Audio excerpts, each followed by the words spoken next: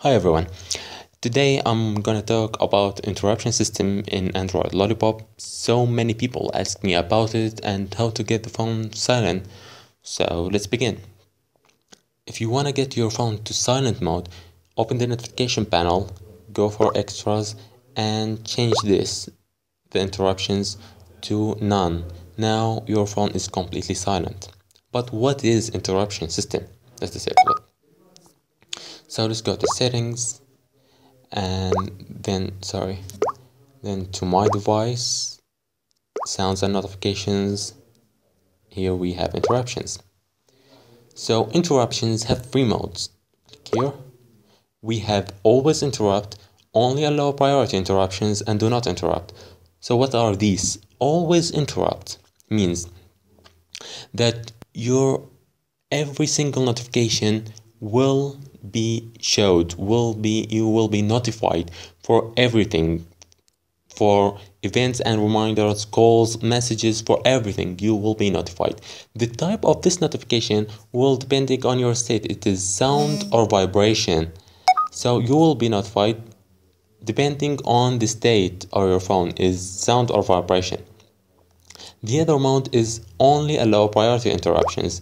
In this mode by default you get events and reminders only to be notified for like S planner or uh, alarms or such things. You will be notified for only the important things but you can add like calls or messages and choose the allowed and choose allowed contacts. Allowed contacts you can choose all or your favorite contacts or contacts only.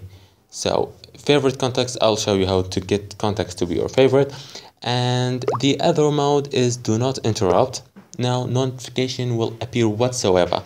No vibration no sound no nothing. As you can see here is disabled. The notification here disabled. So you will not be notified for anything. How to choose contacts to be your your favorite? In here favorite contacts you simply let's go to phone then open contacts then just let's choose this one. Click on the little star up.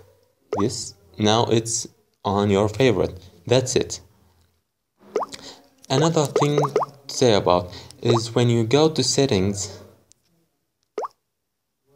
then to not sounds and notifications then to your while locked application notifications sorry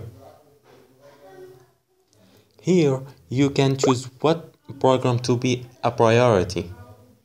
So like I want to make Facebook one of the priority. So when you click set as priority, now you will be notified for it if you set your state to priority.